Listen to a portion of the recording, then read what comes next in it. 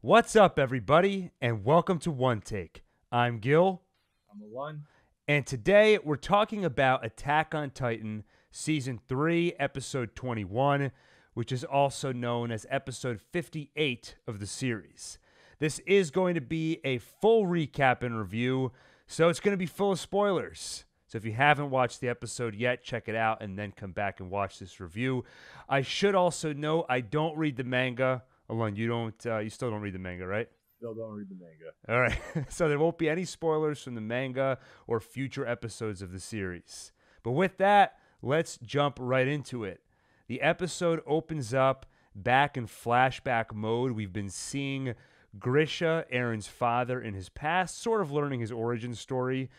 Uh, where we see him now is with the owl in Titan form, uh, basically killing all of the guards, throwing it, throwing them into the sea, and then we hear Grisha's narration. So this is from his memoirs that Eren and the others recently found, and in his memoirs, Grisha says, "I suppose I should explain what the sea is." And then Alon in uh, in episode we've had several episodes now full of revelations is finally revealed what the sea actually is it is a body of water that covers 70% of the earth's surface Yeah, that was shocking. i know it's 70% it's un- unbelievable uh, so then owl frees grisha and he reveals his real name Eren Kruger it's the same name as another major character in the series the main character Eren Jaeger. Eren Yeager. Uh, so Grisha asks Owl, "Why did you save only me? Why didn't you save Dina? You know, my wife, who's also uh, part of the royal bloodline." And Owl doesn't exactly answer. Just to quickly recap, uh, so th- Grisha was being held prisoner on top of the wall uh, on the island where Eren and the rest of everybody we know uh, lives. Uh, all of Grisha's friends were injected with the serum, pushed over the wall, and turned into Titans. And at the last second, before Grisha was turned into a Titan, uh, the owl turned into a Titan, killed all the guards, and saved Grisha. So Grisha's wondering, why did you save me? Why didn't you save anyone else? And Owl doesn't exactly directly answer his question. What, what the Owl does, what Eren does, is explain his backstory. He explains that his parents were part of the revolution and he watched his parents get burned alive, which rightfully pissed him off. And then he went on to pretend to be one of the Marleyans. And as a spy, he had to kill many of his fellow patriots. He had to cut off a lot of people's fingers. That's kind of their means of torture. But he doesn't really say why he didn't. Tra- why? So here's a question for you, Lon.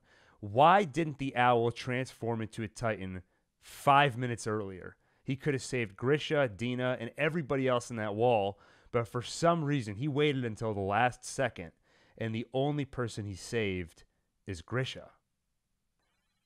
I don't know. I, I thought about it. The theory I have is that so after the owl explains his backstory, he tells Grisha that he's going to entrust him with the final task, which is to take the owl's Titan power and then go and retrieve the founding Titan's power.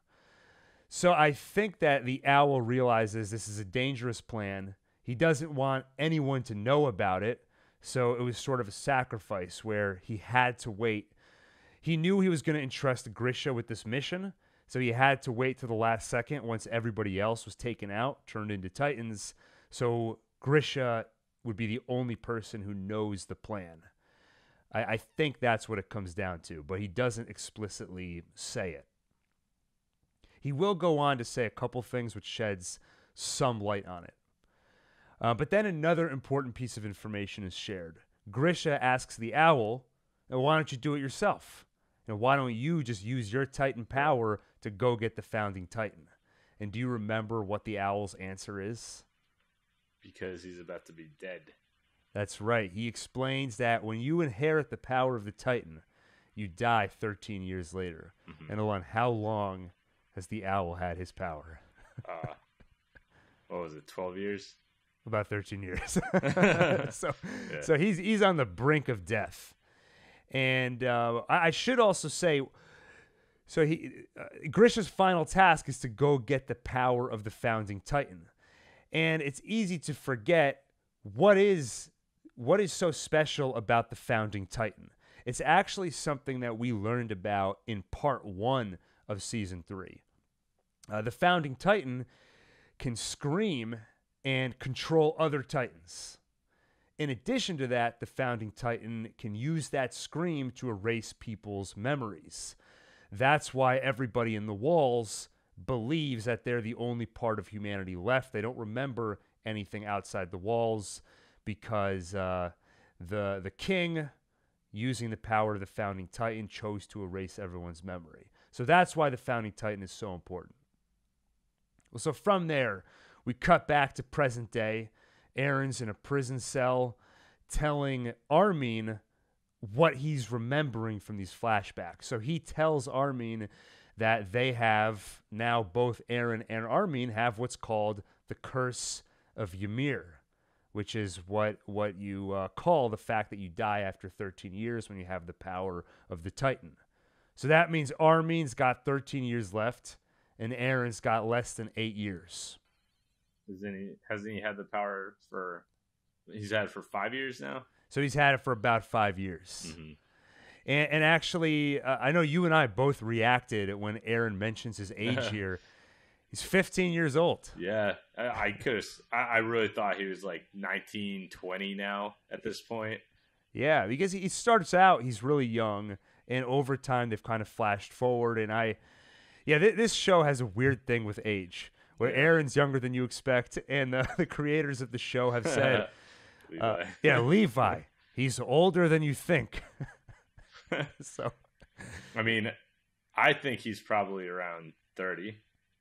yeah, I would Maybe say the same. I, yeah, originally I probably thought mid to upper twenties, but after that comment, it made me think he's at least thirty. How, how old is our uh, oldest brother? He just turned thirty-five. So I I was gonna say that Levi, to me, if I look at his face, he kind of reminds me of uh, our older brother. So I'd put him right around thirty-five. he's he's more athletic than our older brother, though. That's true. That's he runs a lot, but if you strap some ODM gear on his back, I don't know how well he'd do.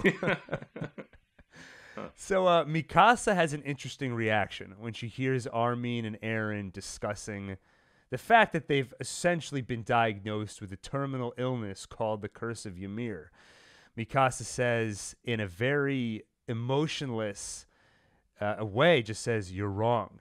This has to be a mistake. It's wrong."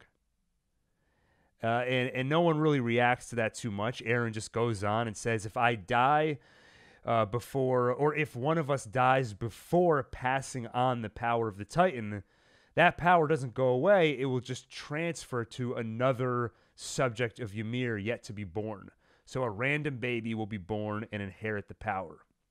And he comments, "It's as if we're all connected by something we can't see. All the subjects of Ymir." Uh, so how how did you think of, of, of the way Eren, Armin, and Mikasa took this news? So Armin and Eren both just learned they have a guaranteed death sentence, 13 years for Armin, less than eight years for Eren. Mikasa just learned that her best friend Armin and her brother got a death sentence. Well, I'll say with Eren and Armin's reactions, they they both should already be dead. Eren was eaten, and way back in was that season one or two? Uh, season one, early so season, season one. one, Eren was eaten by a Titan, and then we survived because he discovered his Titan powers. And Armin, uh, a couple episodes ago, sacrificed himself burned alive. Got his skin burnt off. Miraculously survived that. Um, so I think that they both kind of already accepted their fates. They they understand they have a responsibility now to, you know, uh, maybe pass this on Right. before they die. I think a lot's going through their heads, but I think they're both being pretty mature about the situation, Mhm. and then Mikasa doesn't want to face reality. She, I mean, it's kind of a ridiculous. I mean, the whole the whole concept is kind of ridiculous. These Yeah. Titan. Well, what's a Titan? Yeah. anyway, so I guess uh, considering that there are things called Titans in this world, and the I fact that a Titan out- would die after 13 years isn't that I ridiculous? just want to point out, Alon's watched 58 episodes of the series, and he goes, "What's a Titan?" you know, I don't mean it like I know. that. I know. It's just like we're talking about such a ridiculous concept, and then Right, we're, right. we're like, and then Mikasa is like doesn't want to accept that a Titan has 13 years to live. Right, right. Yeah. yeah, no, I, I think Mikasa is uh, sort of shell shocked uh, because if you, so w- one thing about Mikasa is that she feels a little bit to me like an underdeveloped character in the sense that she's very one note. Everything she's done has been about protecting Eren. And on another show, you might look at the, that and say she's underwritten, she's underdeveloped, she's very one note. But I think that's actually saying something about her character. Uh, she watched her mother get killed, and her mother's dying words were to protect Eren. And I think that she was always protective of him, and that solidified it as something that she that's become her life's purpose. And now she's faced with uh, seeing Eren's going to die, and she can't protect him from it. So I think she's sort of watching her purpose be stripped away from her, and she can't really process it besides saying that can't be right. You know, you're wrong. So I think I think you're right on Eren and Armin. I think when you if you listen to interviews with people from from the military in real in real life, they'll say that when you see people die, when you have a near death experience, it totally changes your whole perception of death. Uh, I think Eren and Armin have gone through that. They have higher purposes to their life. I don't think they're going to take it too hard that they just received a death sentence. They shouldn't even be alive, like you said. But I think this, I think Mikasa is taking this and will take it harder than the two of them have. Yeah. Did you say Mikasa's mom told her to protect Eren? Didn't she, or am I forget? Am I misremembering? Do you mean Eren's mom? oh, Mika, that's right. It's Yeah. Mikasa's adopted mother. I forgot. Exactly. Well, and that's another reason why she's so committed to Eren, because Eren's the one that saved her life. That's right. Yeah. That's right. That's right. And now she cannot return the favor. Because how how how is Mikasa going to break the curse of Ymir? Maybe she'll find a way. She might. She might. Uh, and also one other thing that when Eren made the comment about how they're all connected by something we can't see, it, it made me think about the supernatural element. And I thought about how a lot of the explanations we're getting, there's a mix of the supernatural and science. So where did the power of the Titans come from? Essentially, they say somebody went to the devil and asked for it, right? The devil of all earth, I think they said. But how do you transform someone into a Titan? You inject them with Titan spinal fluid. I'm curious if you if you have any reaction to I mean, do you prefer a scientific explanation? Do you like the fact that it's kind of ambiguous? It's a little sciencey, a little supernatural. You, you could even make the assumption that that it's all science and the supernatural stuff is just unexplained and it's all kind of clouded by legend. Within this, the Attack on Titan universe, I would prefer a scientific explanation, even if there are these supernatural stories amongst the people. Mhm. But I think ultimately, I, I would like there to be a scientific reason behind all of it. Yeah, and How I think? Uh, I, I think what we're gonna get, and and I think I'm okay with it, is they'll probably explain some of it through science as they have been, and I think a portion of it will be left ambiguous. I don't think they'll ever outright say there's something supernatural, but they'll say you know everyone's connected by something we can't see, and we can kind of fill in the blanks and say okay there could be a sciencey explanation for that. We're not gonna get it, and there might be legends that say the devil gave us this power. In reality, we just don't know where it came from. And uh, I think I'm okay with that. I think I'm, I'm so far okay with the ratio of uh, science explanation to you know ambiguous, potentially supernatural. Well, we go back to flashback mode. Grish and Grisha and Owl are talking, and uh, th- th- there's a lot that's said here, but a few important pieces of information that come out of it. Um, the uh, the Owl recounts how one inheritor, that means somebody at some point who received the power of the Titan, says that they actually saw kind of green streaks of light in the sky, all intersecting at one point which we surmise is the point where the founding Titan resides. So Eren talks about how we're all connected, and it seems like in certain circumstances you can actually witness that connection. Uh, the owl also talks about how uh, you know Ymir, the the founder of this whole Titan civilization. Um, some people saw her as having made a deal with the devil. Some people saw her you know, the uh, Marleyan saw her as a devil, but we, the subjects of Ymir, saw her as a god or somebody that was close to the gods. And he basically says the only truth in this world is that there is no truth. Anyone can become a god or a devil. All it takes is for people to believe it. And I wanted to point that out because I think that is one of the key themes of the show, or it's become a key theme over the last couple of seasons which is that in a way we all become slaves of the past. We have these two civilizations that for thousands of years have been warring with each other, and they continue to fight to this day, really only because of tradition. I mean, who cares who started it? Let's all just stop, you know, stop fighting. You know, there's all kinds of real world parallels to that where you have nations that fight. And if you ask why, there's no real reason for them to be in conflict today but they've fought for thousands of years, so they continue to fight. And I think the owl is sort of explicitly saying that here. From there, we get a little more of a window into why the owl took the approach he did. Why did he let so many people get turned into titans? Specifically, why did he let Dina, Grisha's wife, and uh, a member of the royal bloodline, why did he allow her to get turned into a titan? And he basically said he did that because he couldn't allow the enemies, the Marleyans, to get a hold of her. So that gives us a little bit more of a hint into why he let all that happen. Uh, and then Grisha says that he doesn't think he can do it. Uh, so basically, the owl is about to die. It's been 13 years, and he is tasking Grisha with, okay, Grisha, you've got to turn into a titan, then you've got to eat me to take my power, and then you've got to go find whoever has the founding titan, and then you've got to eat them. and, he, and he says he doesn't think he can do it. In fact, he looks down at his bloody hands where he's had his fingers removed. And while, while he's looking at them, he says, If I had known this was the price of freedom, I would not have paid it. Now, do you think that when he says the price of freedom, he means his fingers, or or does he mean like the whole thing? Uh, maybe he means his wife.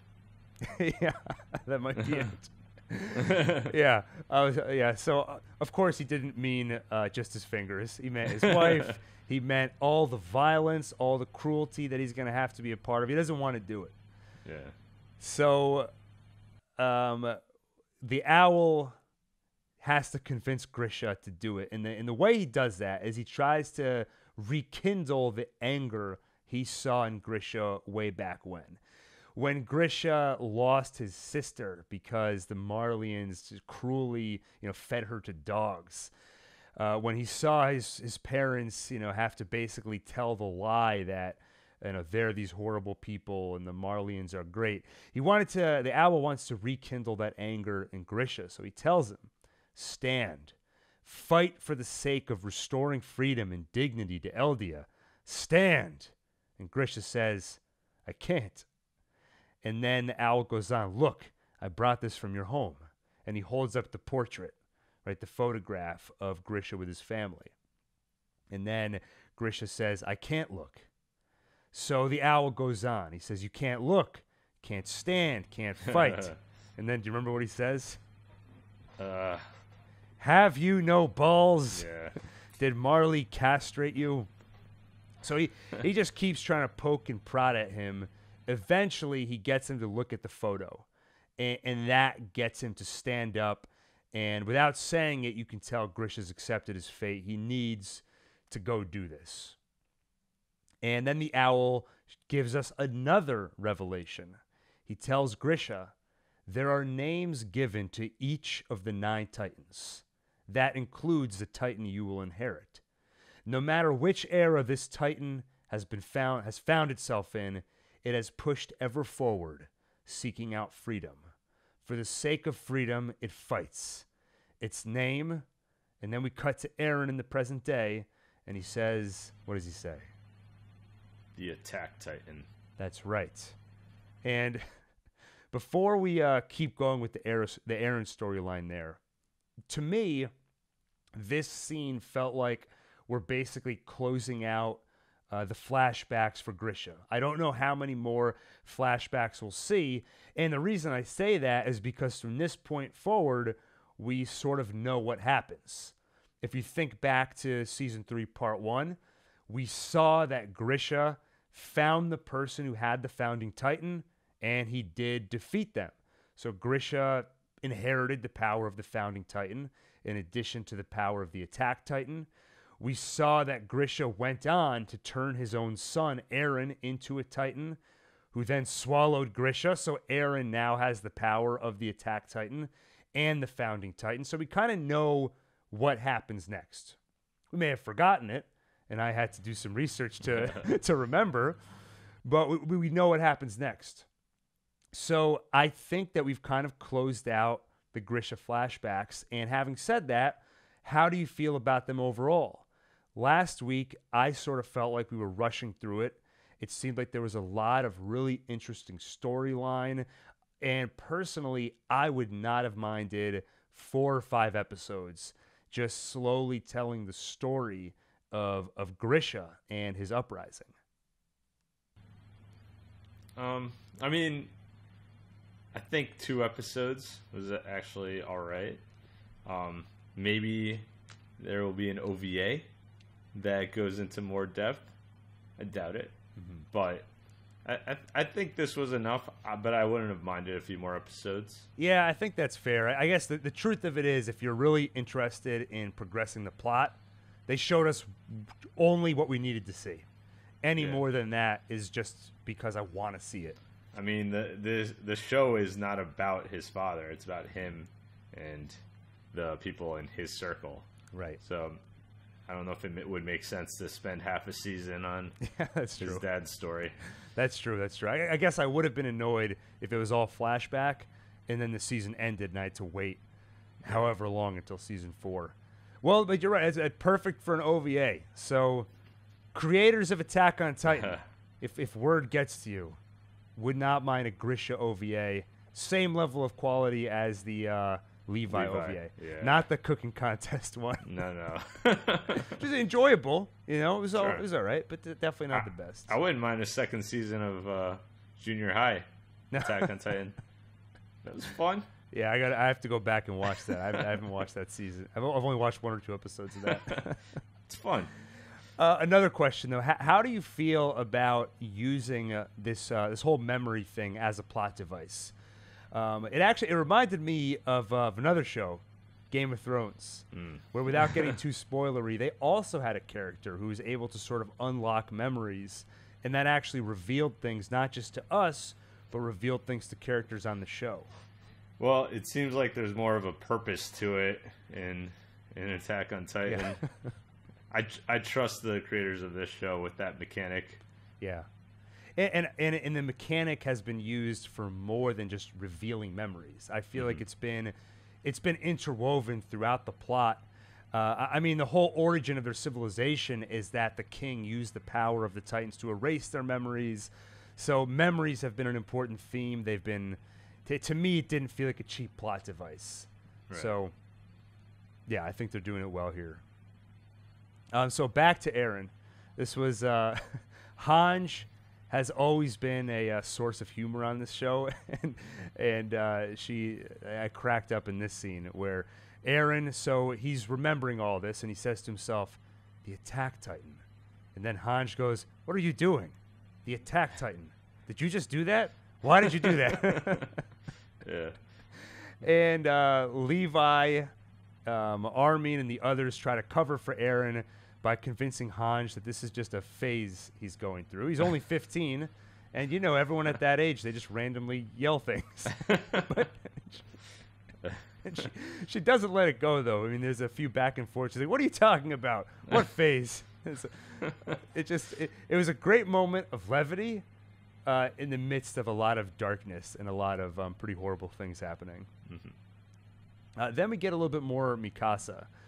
Uh, so they're all let out of their cells. Basically, Levi gives them the news that they're supposed to be locked up for 10 more days. They're locked in there for insubordination when they were arguing to save Armin instead of Erwin. But they basically said, like, there's no reason to keep you locked up anymore. So they let them go. Mikasa walks out looking like a zombie. I mean, she doesn't look good. Uh, she looks totally just out of it. Her hair looked a little more combed. That's true. Her hair's starting to reshape into its original form. Eren asks her, Did you lose some weight? We had plenty to eat, though. And Mikasa says, You seem good. so they want us to know that she's not eating, even though she was able to. So you assume that she's going through some kind of a depression. And uh, you know, I think it's all linked to what I was saying before, which is that she just had the rug pulled out from under her. Her, her purpose has been to protect Eren. She can no longer do that. Uh, my hope for her is that having lost that purpose or realizing that cannot be her sole focus, maybe she'll start to find some other ways to fulfill herself. Maybe she'll start to develop further as a character and be a little bit more selfish. Maybe she's out to do more than only protect Eren. But we'll see. Uh, from there, Hange and Jean deliver a letter, a letter to Historia from Ymir. And it's, uh, it's basically a love letter. If you remember, Ymir was the Titan who took a liking to Historia, protected Historia, and uh, there's really nothing to the letter except uh, Ymir saying she's going to die soon, presumably because she's hitting her 13 year time limit. And her one regret in life is that her and Historia didn't marry. So uh, then Historia touches the letter, and you see a kind of lightning bolt, and it appears to trigger some flashbacks for Historia. It seems like some memories were transferred from Ymir to Historia because we see Ymir as a human getting turned into a Titan. And then we see her, having lived as a Titan for a while, turning back into a human after eating another Titan. So she becomes an intelligent Titan. But anyway, the important thing is Ymir becomes human and she sees the lights in the sky. She sees the, the connections that intersect at the point of the founding Titan. The, the Historia reacts to that. Hange and Jean ask her, you know, what, what, what just happened? She says, oh, it was nothing. They ask her if there was any kind of coded message in that letter, and she says no. Uh, so I'll say I'm not really sure, actually, the point of that letter. Uh, it could have been, you could have read it as it's, it's drawing closure to that storyline. We had the romance between Historia and Ymir. This kind of closes it out. Well, it seemed more of a one-way romance. That's true. uh, it's kind of hard to tell because Historia was always a strange character. She didn't show a lot of emotion. Um, she was obviously had an extremely traumatic childhood. Uh, if you remember one specific moment where she'd never had physical contact with her mother, yeah. and at one point she tried to hug her mom, and her mom like beats her. Yeah. But Ymir was happy because, or um, Historia was happy because she actually made contact yeah. with her mom. uh, so, yeah, definitely was clear Ymir was uh, was interested in Historia. I, I, always read it as as uh, Historia felt the same way, but it's kind of hard for her to show it, and it's hard to read her as a character. Yeah, I thought she felt friendship toward Ymir, and gotcha. Ymir felt romance toward Historia. Historia may have also been thrown off uh, when she found out Ymir was a Titan. Yeah, and not a very attractive I was Titan. Gonna say the, the weirdest looking Titan. If you read um, on the, uh, the the Wikipedia for the anime, which by the way, pro tip I just learned, if you go on the Wikipedia for the anime, it's all written only containing knowledge you can get from the anime. So there's no manga spoilers. You still have to be careful when you search because some Google suggestions will come up, which may be spoilers. so let me, so listeners or uh, viewers, let me take the bullet for you. I will go out on the web and research this and protect you from spoilers. um, from there, Sasha eats an apple. We see that for about two seconds. Uh, I guess I just wanted us to know she's okay. She's still eating. she's got she's getting her appetite back. so a small group convenes uh, with Historia, the queen, present uh, in a room full of people to discuss Grisha's memoirs and basically debrief on what they learned from Grisha's books. Hange kind of recaps it for us.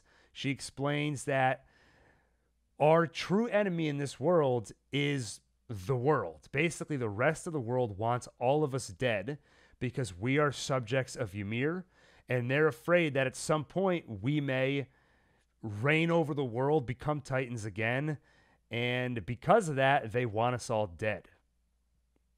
Um, from there, we go back into flashback mode. Uh, Owl explains to Grisha that if Marley gets the founding titan, the Eldians are done for. Grisha says the king would never let that happen. But then the owl says that's not true because the king refuses to fight. The king said, Hey, if you attack us, we're going to destroy everything. But he just said that to kind of get people to back off. In reality, what he said to his own community is if once again Eldia is driven to sin, we will perish as it's meant to be. I have made a vow renouncing war with the founding titan.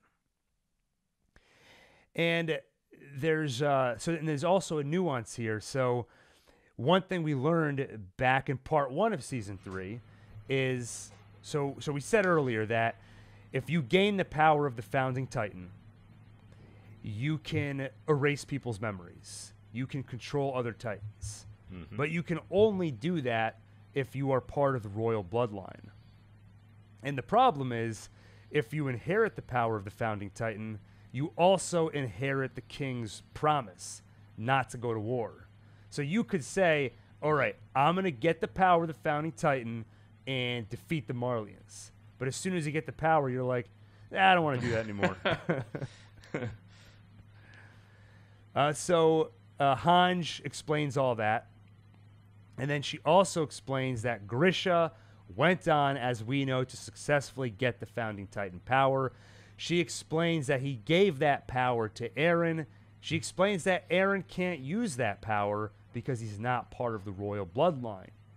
Except, if you remember, a little while back, we saw Eren use the power. He screamed right. and controlled the Titans. So Hange says maybe Eren can use it. And that triggers a flashback for Eren. He remembers that when he used that power, he was making physical contact with the Titan that killed his mom. and then he makes the connection that that Titan was Dina, Grisha's yep. wife, who is part of the royal bloodline. so he surmises that I feel like you need a whiteboard. I know. It took me I'll tell you I watched this episode 3 times. so long story short, Eren has the power of the founding titan. He can't use that power. But he thinks maybe he can use that power if he's making physical contact with a, a person of royal descent in Titan form. but but he doesn't want to reveal that because if he does, he's afraid the military might experiment on Historia. They might mm-hmm. try and turn her into a Titan so Eren can touch her and then use the power. Doesn't she control the military now? Well, not exactly. She's kind of the queen only in name. Mm-hmm. Um, ironically, uh, because she has a good story. because I don't want to uh, say what that's a reference to because it's a spoiler, but but you know what it is. if you recognize it. Uh, so, if we, we go back into flashback mode here, um, and this is the end of the episode. Owl and Grisha are talking again, and the owl tells Grisha, After you enter the walls, build a family. Grisha says, What are you talking about? I have Dina. Won't I forget the things you tell me just before I become a Titan, anyways? The owl says, That's not always the case, and someone may see it later your wife, your child, your neighbors, if need be. Love someone inside the walls. If you can't do that, it'll only repeat the same history, the same mistakes over and over. And then, ready, Alon. This is the mic drop moment. The owl says, To save Mikasa, Armin, and everyone else, you mm. must see it through. and then mm-hmm. Grisha says, Mikasa, Armin, who's that? and then the owl suddenly gets this look on his face like, who knows? I'm not sure. Whose memories are those? and then Yep. and then the episode ends. Yep. So, Alon, what the hell just happened? Well, I'm gonna just theorize a little bit. Maybe there's some weird thing with time and memories where you can, if you're a Titan, maybe you also inherit the future memories of people that inherit your Titan ability after you. I don't know. Yeah. I mean, Which- it's the only logical explanation. which would also, you know what? I'm going to stop spoiling other spoilering. yeah, I'm going to stop I- spoiling other shows. I was also thinking about that show. Uh, so I thought the same thing at first, and sh- I'm also going to point out that you and I have always talked about how cool it would be if there was a show with flashbacks where eventually the flashbacks suddenly reference something in the present day, and there's like a weird time thing happening. So immediately I wanted to believe, oh, there's a time travel thing happening. I don't think that's the case. And, and the reason why is because they keep making references to history repeating itself. Uh, that's happened many times throughout the series, but a few recent examples uh, Zeke, the Beast Titan, he says uh, a few episodes ago when Erwin was leading the suicide charge against him, the Beast Titan makes it sound like that's happened before. He says, All right, here we go again. There's going to be another suicide run. Everyone's going to die.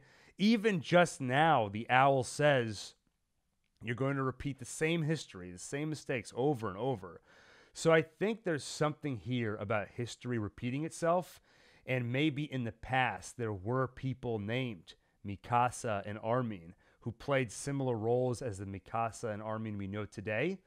And maybe those memories survive subconsciously and inspire people to name their children after those characters from the past.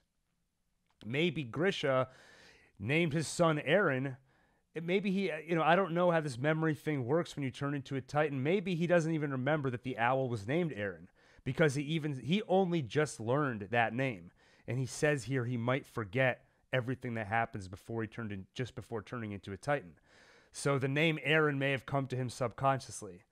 So I'm not ruling out the possibility that this is a time travel thing because it definitely seemed like that was a very specific message to Eren, who's currently reliving these memories. But my bet right now is that it's some kind of a cyclical history repeating itself thing. Sounds more likely. Yeah. anyway, so that closes out the episode. And I have to say, it's pretty incredible that they're giving us so many answers over the last few episodes. Uh, but they still managed to find a way to end on a on another note of like, whoa, whoa what? So they're doing a great job. Uh, and then I'll say I complained a little bit last episode that they were going through things a little bit too quickly. It was kind of hard to keep up with the information download. I still felt a little bit of that this episode, but it definitely wasn't quite as bad. The pacing felt a little bit more on point. Um, but overall, I mean, still very much enjoyed this episode. It's not hitting the emotional highs from two or three episodes ago, where you had the suicide run, where you had the debate over who to save, Erwin or Armin. But you can't always be at that level of intensity. You need episodes like this. So, good episode. Not one of the best, but definitely a pretty, you know, really good episode. How about you? Any Agreed. closing thoughts? No, I thought it was a very good episode as well, and I, I can't wait for some answers on this. The, the whole Armin Mikasa history repeating itself. Right. If we get answers, because there is only one episode left this season. And Well, well, it seems like uh, they might be getting ready for uh, to build up something that could last a whole nother season. So yeah, so they so if they answer that question, I'm sure they're going to ask another question where we're going to be waiting till next season to find out what happens next. Uh, and I'll also say, I feel like every previous episode for the last five episodes, maybe, we knew what was going to happen next, sort of. Like before the last episode, we had a feeling, okay, the next episode, we're going to dive into Grisha's history. We're going to get some answers. At the end of this one, I really don't know what's going to happen next. There isn't any clear next step. yeah, I know I want another awesome battle, but I don't, I don't know who they would fight this Yeah. time. Yeah, unless there's a surprise Beast Titan attack. You know, who knows? Yeah, you know he'll be a lot more careful this time around. Right, right. Or maybe uh, Hange gets it gets from Eren um, the truth about how Historia might be the key. You know, maybe if they turn her into a Titan, and that that could be a way for Eren to use his power, and then we get an internal struggle over Eren wanting to protect um, Historia. You know, who knows? We'll see. Yeah. Ho- hopefully, it's not too political. Yeah, I know.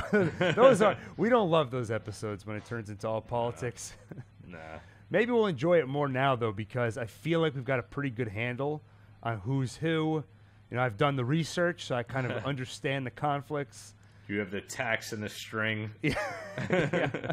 Yeah, if I turn this laptop, you'll see pictures all taped up on my uh, on my wall. Looks like a beautiful mind. all right, well, needless to say, we're both excited for the finale next week. Uh, and thank you for watching.